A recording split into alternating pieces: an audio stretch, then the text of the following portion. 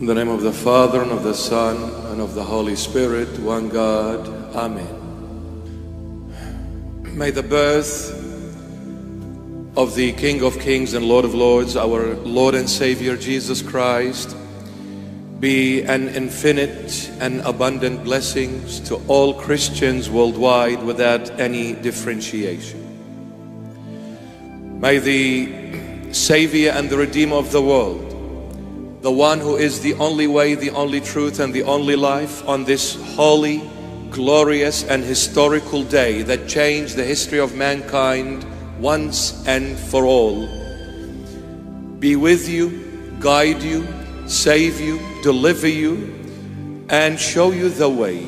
Enlighten every heart, enlighten every intellect, enlighten every soul, every mind, every spirit, every being wherever they are, whoever they are, and more so, the Christian world, Christendom, with all its factions. May the Lord Jesus bring us all together in the unity of heart, where we are able to embrace one another in His love, in His divine and genuine love, heavenly love.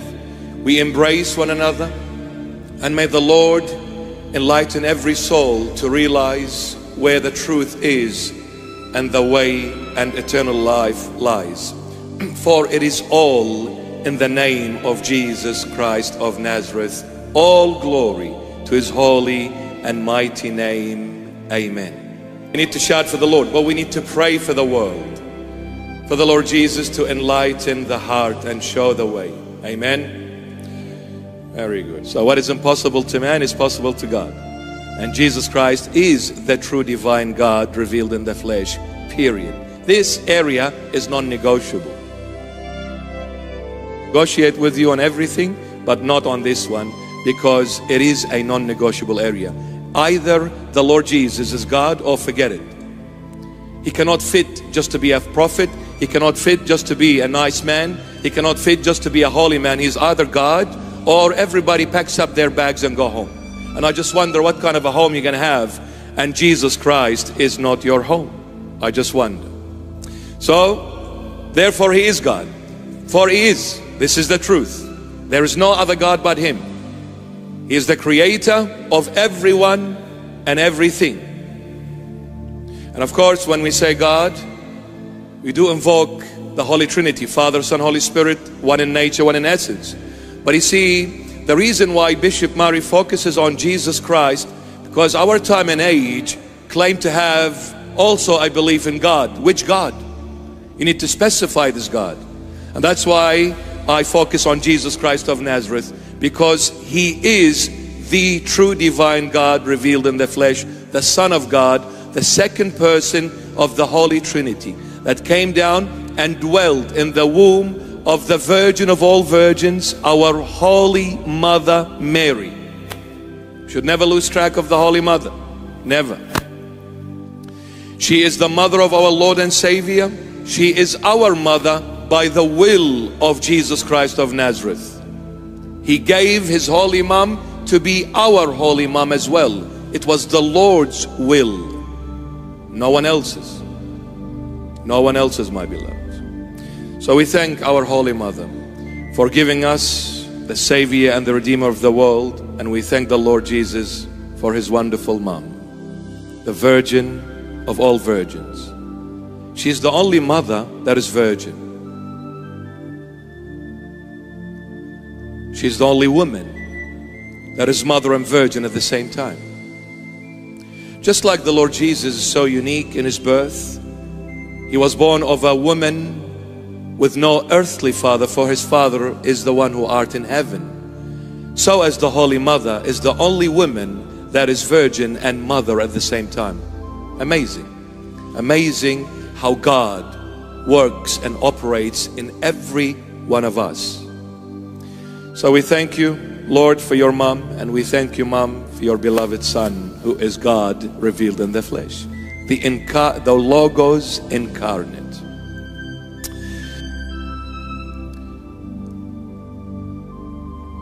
Um, I'd like to share a couple of things about the gospel of today. One is to every Christian that confesses and professes Jesus Christ as their Lord and God. If you believe that Jesus is your Lord and Savior, then this is something from the gospel of today for all of us and all of you. Augustus Caesar ruled and conquered the world. He was the most powerful man on earth. I don't think there are presidents, I don't think there are leaders of the 21st century as powerful as Augustus Caesar. No matter how powerful the United States of America cannot in the open claim to be the one who rules over the entire world. They don't. Directly they don't. Indirectly maybe they do. But Augustus Caesar stood on the platform of the world and said, I rule. And if anybody's got a problem with this, let them face me. Nobody did. So Augustus Caesar, with all his might and power, with all his authority, woke up one day and said, If one of the least of my servants in my mansion comes today and says to me, I, Augustus Caesar, the ruler of the world, how many people do you have in your empire under your rulership? What will my answer be? I don't know. That is a very weak thing coming from the most powerful man on the face of this earth. I don't know how many people. This is very, very weak of you, Augustus. So, Augustus, being the emperor, the ruler of the world, he gave this decree that everyone in his empire to go back to their own town, to their own lineage, and be included in this census. So the word came all the way to Israel, which was under the rulership of the Roman Empire. And it went all the way to Galilee. And it came all the way to this little village of Galilee called Nazareth, where the Holy Mother was betrothed to our father Joseph. And she was pregnant by the power of the Holy Spirit. And the word says, Augustus Caesar, the ruler of the world, says to everyone, you need to go back to your town, to your city, and be included in these census because Augustus had this idea. He wants to know exactly how many people are under his authority. So the Holy Mother and our father Joseph the Just, being of the lineage of King David, they had to go to this city called Bethlehem because that is the city of King David. And they are of that lineage. So they get up and walk all the way from north to south. And would have taken them, I don't know, approximately maybe two to three weeks on foot. They had to go back to Bethlehem. And as they arrived in Bethlehem, the Holy Bible says it was time for the Holy Mother to give birth. And Jesus was born in a manger in Bethlehem.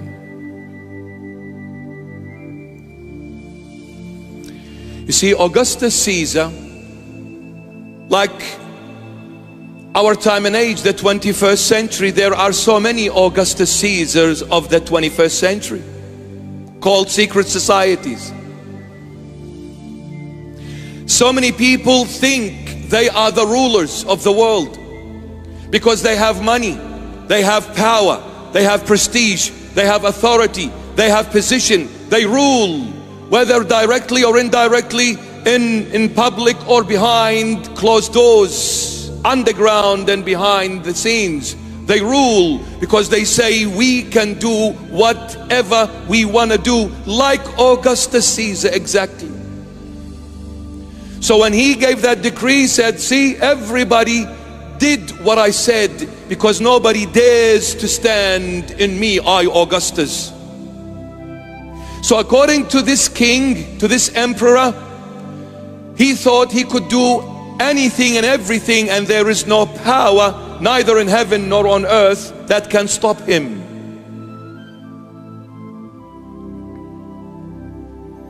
So, as far as he's concerned, he, uh, he does everything and he can get away with it very easily, not realizing it was God all along who was controlling Augustus Caesar.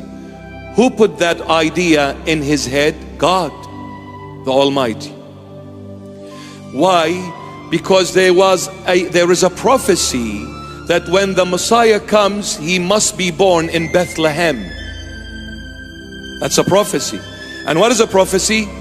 the word of God.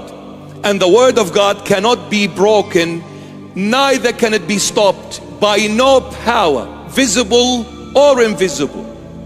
So Augustus thought he did as he wished and nobody stopped him, not realizing God was controlling Augustus all along. So God put that idea in his head and it was, and he thought it was his idea.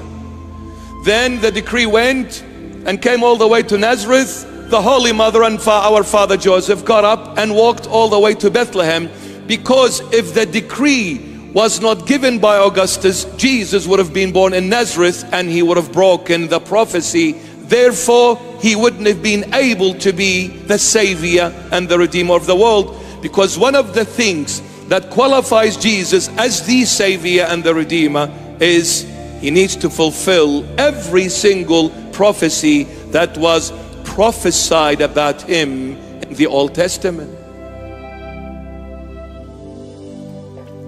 The Holy Mother wouldn't have got up.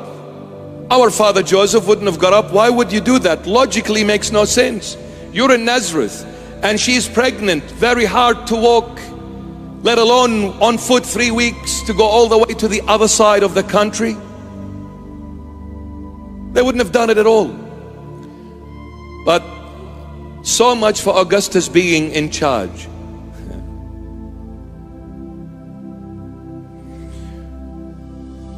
When any human being, now please, let us open our eyes, our ears, our hearts, our mind, our soul, our entire being.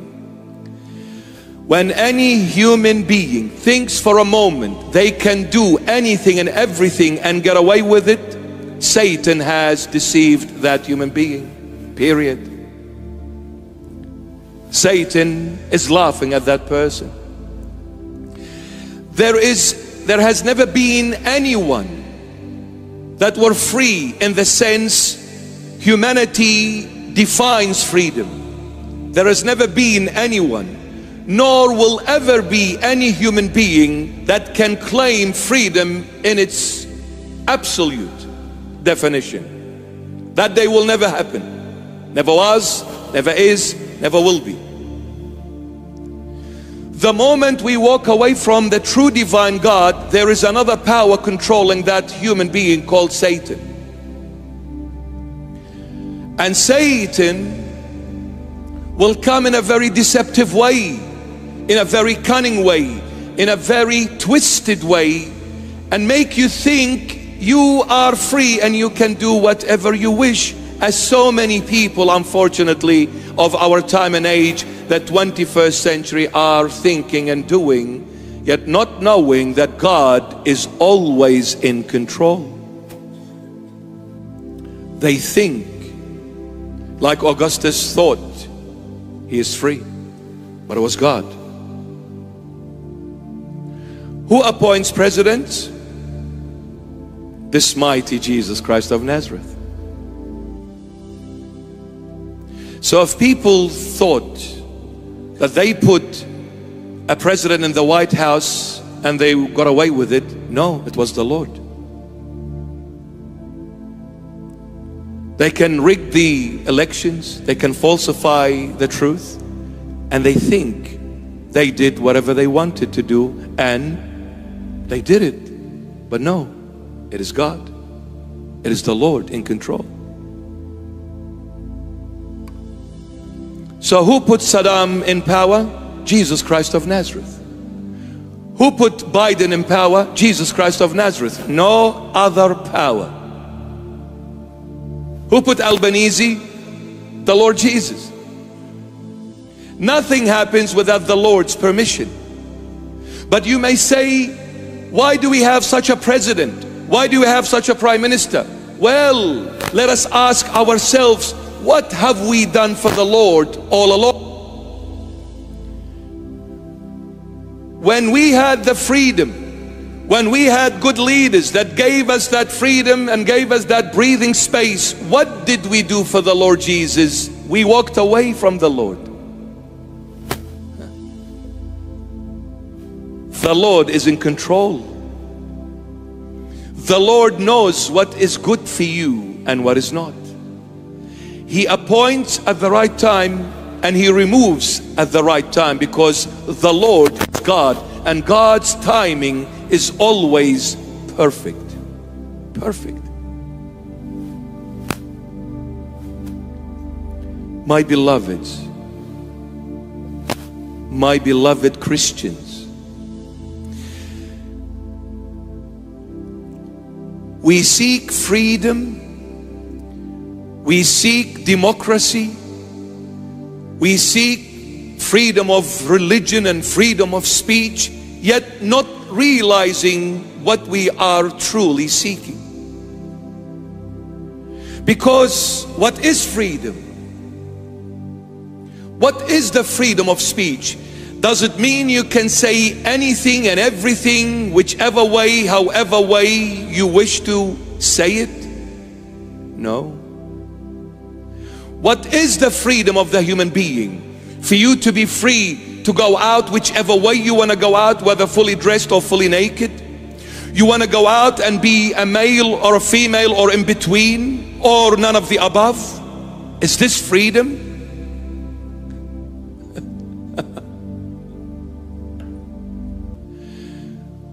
My beloveds, the Lord Jesus came to give us one of them one of the most beautiful gifts ever given to any human being or to the entire human race.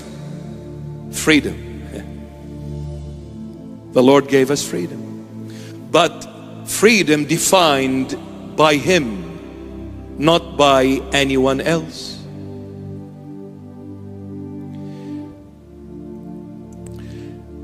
You know, on an earthly level, on an earthly level, when are we free? When we abide by the law, isn't it?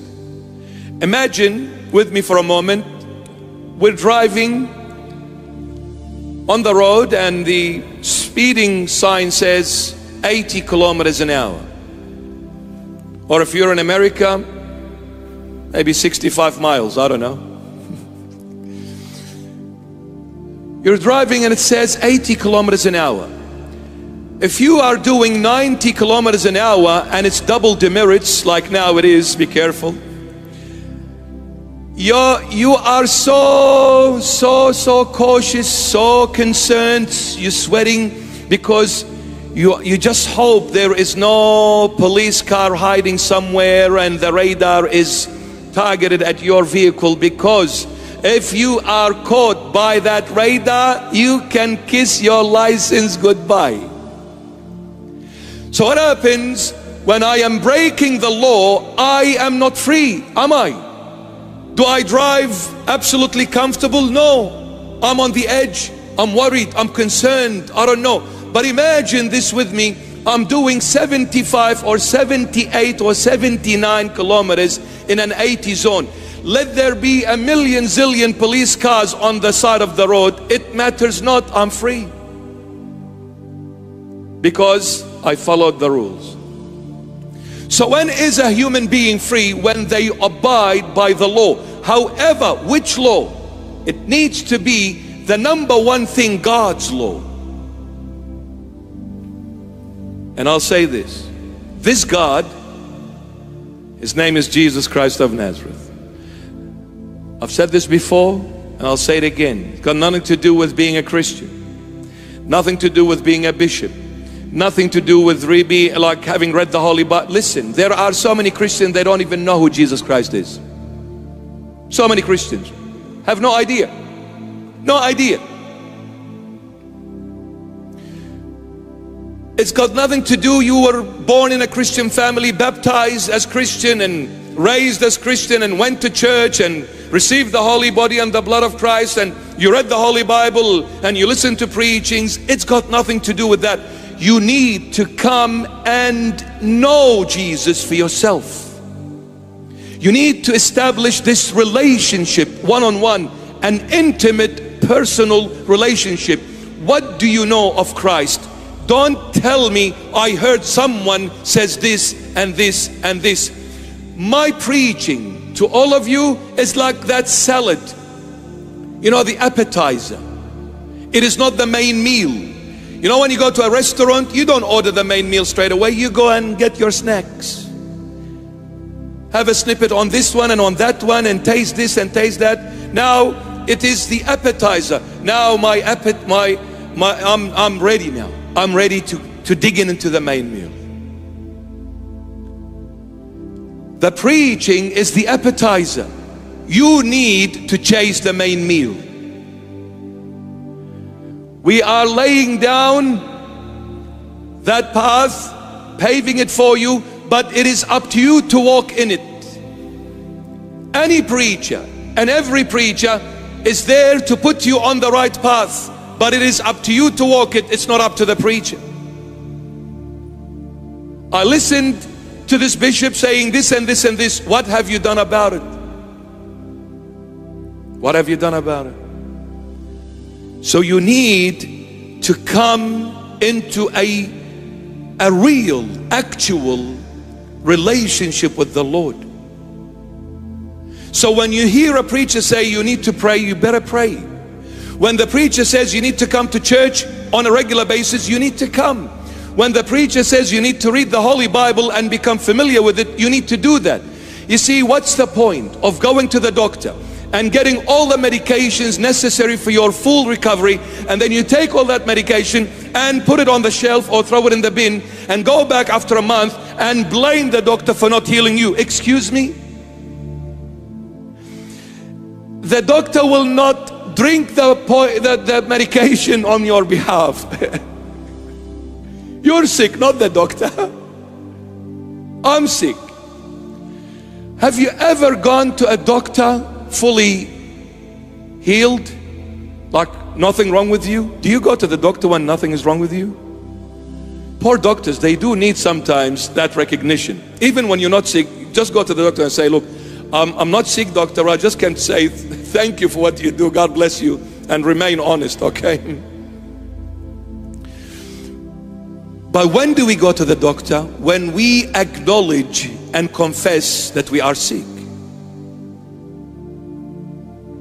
So when you come and listen to the preaching, saying do this and do this, it's exactly those prescriptions of the doctor. So what do you do with those prescriptions? You need to apply them, take them. Don't just go out and say, oh, that was a nice preach. Oh, some nice words I had. I learned something. What do you mean? You need to apply them. You need to apply them, my beloved. I need to come and begin a relationship with the Lord Jesus. Begin a relationship with the Lord. I've put you on that path, you need to walk it now. So, the first message if you believe in Jesus Christ, don't ever fear whatever is happening in the world. Everything is under the control of the Lord. No one rules except Jesus. But when something happens, like the pandemic that happened in 2020, when something happens like that, what did we learn from it? Yes, it was a pandemic. It was never a pandemic, it was a plan pandemic There was never a vaccine, it was just a jab. But what do you learn? What do you learn from all of this? I learned number one no power, neither in heaven, nor on earth, nor beneath it. Satan and all of his powers, no power can ever shut the door of the church. The only one who closes the door of the church is the rightful owner, Jesus Christ of Nazareth. For the church is to be closed, that is telling me and you and everyone who calls themselves a Christian, the Lord is not happy with his beloved children. We have walked away from him. It is a reminder. Where are you heading? Where are you going? What are you doing with your life? What are you doing with your destiny? What are you doing? Don't fear no one. And don't fear anything when Christ is truly your Lord, your God, your King, your everything. What are you fearing? Somebody might come and kill you? Hallelujah. You'll do me the, the greatest, you know, thing. I don't fear nothing. You see, when you don't have anything to lose, you have no fear. The only time you'll have fear is when you are afraid of losing something. But when you have the Lord Jesus, you've got nothing to lose. And even if you go to the grave, the Lord will raise you from there, for He is God revealed in the flesh who stood in front of that tomb of Lazarus and called him forth after being rotted in the grave for four days. So, the first thing we need to do is build a relationship, establish a relationship with the Lord Jesus. How do you begin a relationship? Well, look at the relationships on earth, learn from them. When, when you, my dear Jono, meet this girl who happens to be Rachel for the first time ever, and I hope you don't meet her at the club or at the pub. It's the wrong place.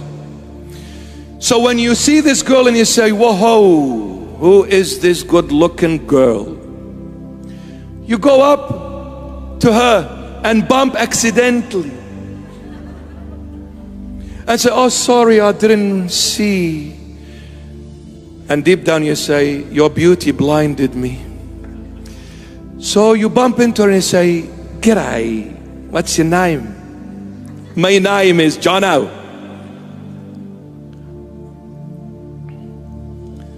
Well, you need to be an Aussie, eh? So you begin a relationship with talking. When was it the last time you, you talked to the Lord? When was it? And I mean a genuine talk, not a surface level, no what is a genuine talk? Is when you go, you drop everything for Him. You see, because when you are with the one you love the most, everything else ceases. Everything else ceases. And the number one thing that ceases and must cease is time. It's time. Because the last thing you will do is look at the watch because you don't want the time to take you away from the one you love. So you need to enter into a dialect conversation, genuine, from the heart, no lip service, no falsification of the truth. Come as you are. Go to the Lord and say, Look, Lord, I've done everything evil under the sun before your holy sight. I've done this and I've done this and I've done this. And I'm confessing it to you, Lord. I want to talk to you. Please answer me, Lord. When you are genuine, speak from the heart, the Lord only recognizes the language of the heart. Because the heart never lies, but the lips and the deceptive tongue always lies. Build a relationship with the Lord. When you begin this journey, the Lord will start building you up, making you stronger, wiser then whatever happens after that is secondary, none, nothing to do with it. So, whatever Augustus Caesar is doing in the 21st century, who gives one penny? It is the Lord in control of those who do things underground, above ground, behind closed doors, behind closed curtains. The Lord sees all, the Lord is in control of all, including Satan. So, what are you afraid of? Why are you worried? Leave everything in the Lord's capable hands. Without using the word but. Please don't use it. But Bishop, like I'm, I can't, I can't stop not think about it's not working out. Okay, I'll leave it in his hand, but I'm gonna die tomorrow. The doctor said you're gonna die. But you know, I know I trust in the Lord, but if I don't do this, it's not gonna work. Listen, when you leave it in his hands, you go and do whatever you gotta do, but do it with confidence, not shaky ground, not fear, not anxiety, because these are all against faith. Against faith. So, Augustus Caesar gave a decree. He thought he was doing whatever he wants, not realizing was God in control. Because God wanted our father Joseph and the Holy Mother, you know, pregnant with the Savior of the world. He wanted them to go to Bethlehem. They wouldn't have gone unless Caesar gives that decree. So, who did it? God. Not Caesar,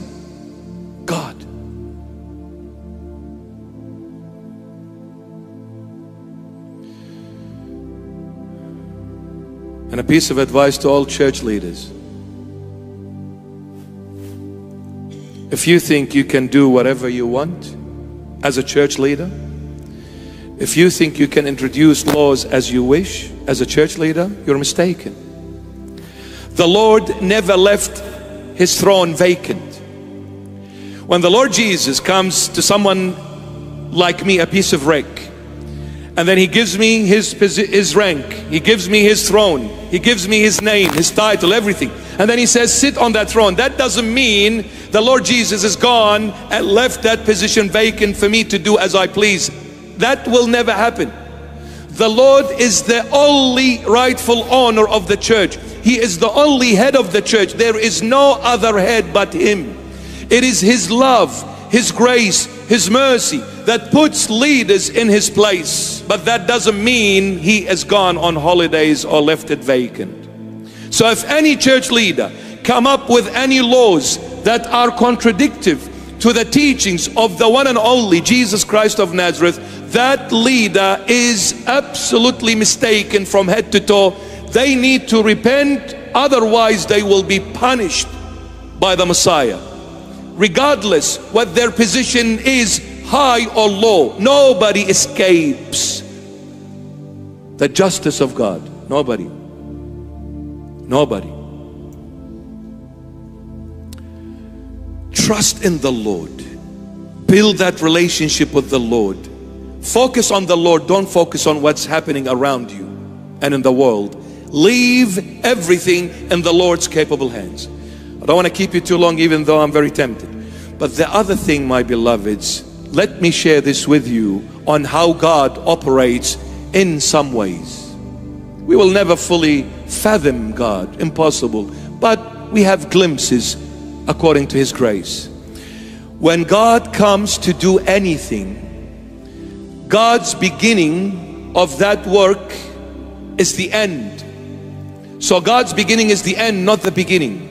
Let me explain what I mean. See, when God came to create Adam, the first creation ever, He created Adam. The beginning was his was creating Adam, but that beginning was the end result, not the beginning. So God created Adam, the end result, and then came back and started working in Adam to get him to what he had created in the first place. This is why Adam was created adult, not a baby. you with me? So if anybody asks you, say, well, why was Adam created mature? Because that was the end result, not the beginning. The beginning is a baby, but the end is an adult. So God's beginning is the end. So, what is that telling me and you? Since God's beginning is the end, what are you worried about? you see, we worry about the end result, don't we? Not so much the beginning, but we worry about the end result. Well, since the end result is maturity, well, God is going to get you there. Just let Him. Let Him be. You know, when, uh, when you buy a, a television set, what do you buy the TV set at its infancy stage? a couple of cables here and a couple of screws over there. No, you get the full package. You get the end result. But that end result package is the beginning. Because the moment you get it, that you get it mature. But what do you do? You open the box. That's the beginning. And then you get the manual and you throw it away because you're a genius. Don't we all do that? Geniuses. I was I was talking to these beautiful people the other day. It was uh, Christmas carols. I was invited by these wonderful uh, Indian Christian people, um, and I said, "Valare nanni," which means thank you very much. Um, I thought they were gonna they were gonna get upset, but they were very happy when I did that. God bless them. I love our beloved Indian people. When I joke, I joke because the only reason I joke is when I love someone. I cannot joke with someone that is totally a stranger to me.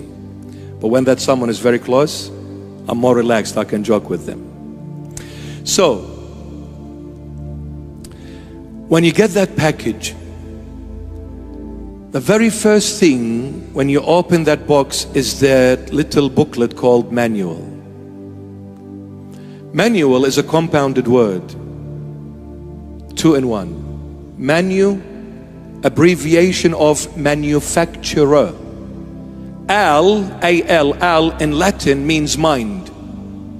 So manu, manufacturer, al, mind. Manufacturer's mind, they called it manual. So what is the manual? The manufacturer's mind. Why? Because this manufacturer who came to create this television, it was in his mind, this idea, and no one else's except his. So when he came and brought this mind of his and made it possible, it became a TV set.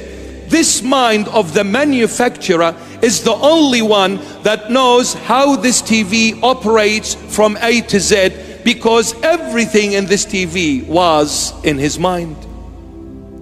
Since he put it together, what did this manufacturer do? The manufacturer put his mind on paper and sent this book with the product to say to the purchaser two things. I give you a guarantee and I give you a warranty. Two different things. I'll give you a guarantee.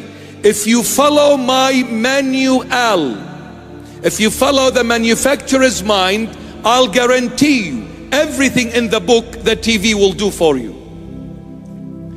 And then if you follow the manual to the dot, I will give you a warranty. If the TV does not function as the manual I warranty you a, an absolute full replacement of a new one. God came to create his product called Adam the human race. So when God came to create he began with his end he did not create a screw or a cable, He created the full product. So the beginning of God is the end of that product. He came and created Adam. And then He packaged Adam. And in that package, He put His book, Manual, the manufacturer's mind. What is the manufacturer's mind? The Holy Bible. That is, that is the manufacturer's mind, the Holy Bible. So he put the Holy Bible in that box and he sent, he shipped it from heaven to earth. Now the genius is us. We opened the box and we grabbed the manual and said, I don't want this. I know what I'm doing. Mom, Dad, this is Australia. This is America. This is Canada. This is Europe. This is not some village in the Middle East. You ignorant people. You illiterate people. Mom, what qualifications do you have? You didn't even finish primary school. Look at me. I'm a uni graduate, Sydney University, Notre Dame. You don't know nothing, mom. I'm genius. I'm educated, mom. You, you barely can read and write. I'm a doctor. I'm a lawyer. I'm a professor. But an atheist. So we took that manual and we said, we can figure it out. You see, what happens when you throw that manual aside? The only thing is left for you and me to do with that product is experiment with it. Because this product has the mind of the manufacturer. I'm not the manufacturer. I'm not God to know how this human operates and functions. So what happens when we grab the remote control? What do we do? We experiment. Let me see what this button does. Oh oh. Nothing. No screen. I'm experimenting. When we begin to experiment 100%, we will abuse the product. 100% because we are trying to be the manufacturer, yet we're not. We're trying to be God, we can never be. We can never read the mind of God. How can we know how to operate this product called the human being? So we took the manual, God's mind, and we put it aside. I don't need to read the Holy Bible. I'm a good Christian. Well, I don't need God at all. There is no God. I'm God. So be, that human begins to experiment because that's all they can do. So they started experimenting. What happened? They became neither a male nor a female. That's one of the experiments. The other one, we became stubborn, not accepting any advice from no one because I'm experimenting. You see, mom comes and dad comes to the children. Yes, my dear son, are you listening? My son, don't mix with those so called friends. You call them friends, but I can see they are troublesome. Don't go with them, my son, daughter. Don't mix with these girls. They are negative influence on you. Ah, come on, mom, leave me alone because I'm experimenting. I put the manual aside.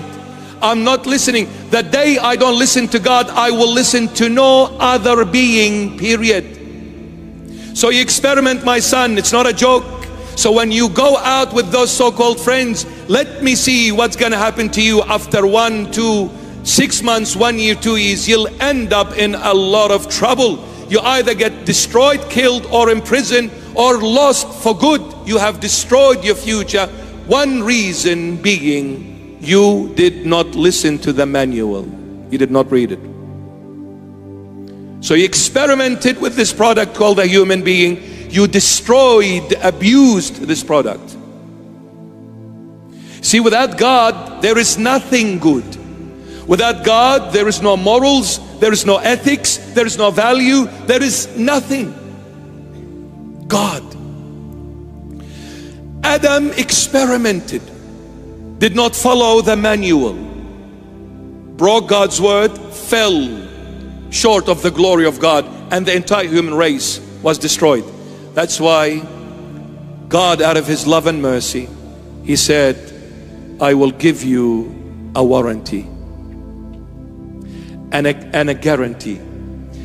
Now, this product that is coming soon in the end of times, this product will do as I say, as God says, no one else.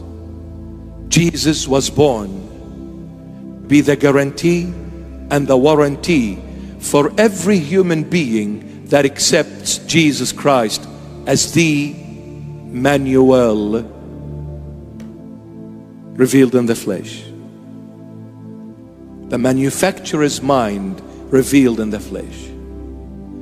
When you go to Jesus and listen to his directions, he will give you a guarantee that you will do everything God wants you to do. And when you listen to Jesus and you break something in that product, the human being, he gives you a warranty that I will replace it for you and you. You were a sinner, I made you a saint.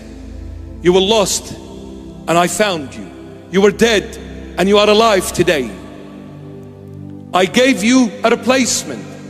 The former Adam, I replaced him completely with the latter Adam.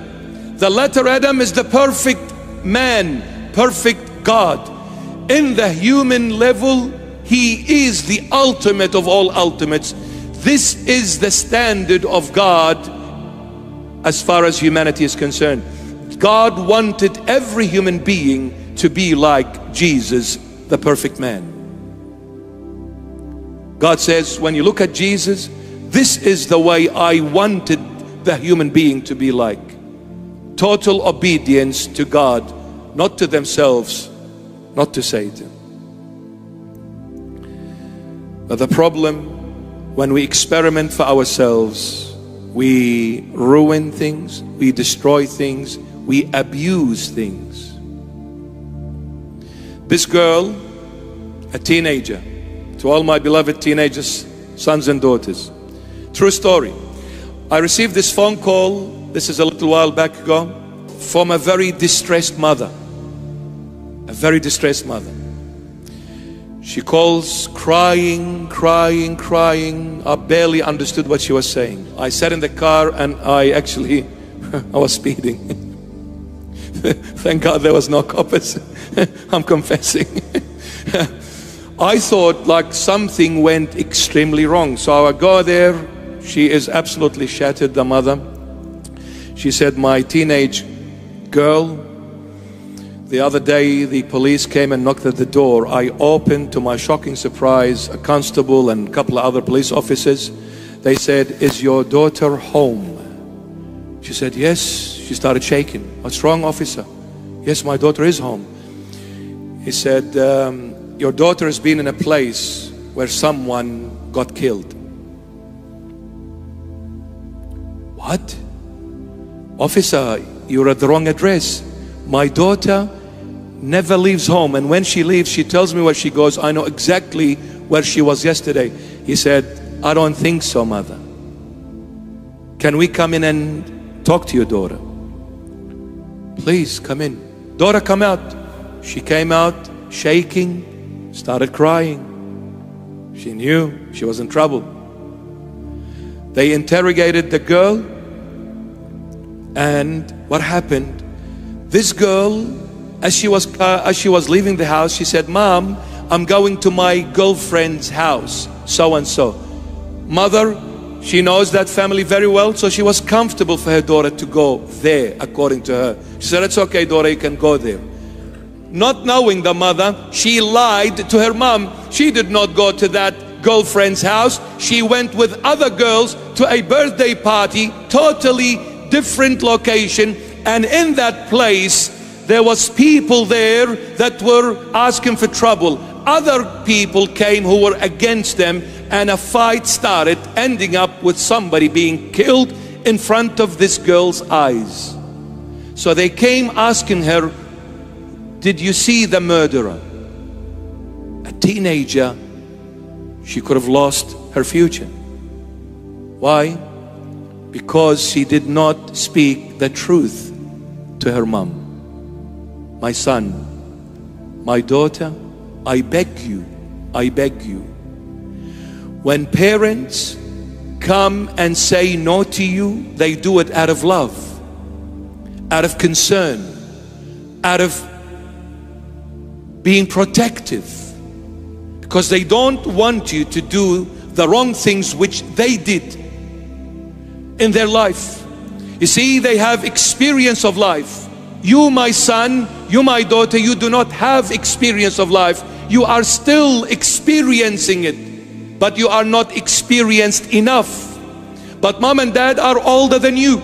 wiser than you, more mature than you. They've done it. They've been there in the highs and the lows of life. They have experienced so many things. Yes, they were also teenagers and they chose the wrong friends and walked in the wrong path. They veered off and walked in dark alleys. They know exactly what it's like. That's why, out of love and fear for your well being, child, they are extremely cautious and careful. This is why you think they are suffocating you. They're not, they are worried about your well being. Do not abuse the product, use the manual. Start reading the Holy Bible because the only one that is going to teach you on how to have good morals, good value, ethics, and principles of life is Jesus Christ of Nazareth. So, next time when mom and dad say no, you say to them, Yes, no problem. If they allow you, do it. If they don't, respect their wishes. Because when you listen to mom and dad, you're listening to God. Respect your father and mother. This is one of the ten, one of the commandments of those ten which God gave to Moses. He says, respect your father and mother so that I may bless you and give you a life abundant. When you respect mom and dad, you're respecting God. But mom and dad, you need to respect God in order for your children to respect you. What goes around comes around. St. Paul talks about this so beautifully. The Lord Jesus is the perfect illustration of what God is looking for in the human race. God's intention was for all humanity to listen to Him, not listen to themselves or to any other power, but listen to Him. Today, the Lord came to give us that opportunity. So we can have that opportunity once again to come back to God. So embrace the Lord Jesus. Thank the Lord Jesus for coming. Thank the Lord Jesus for being born in Bethlehem, the house of bread. That's what it means. Bethlehem or Lechem. Beth means house. Lechem or Lhem or Lahmo means bread. The house of bread. And he said in John 6, I am the bread the living bread that descended from heaven. He who eats me shall live in me forever.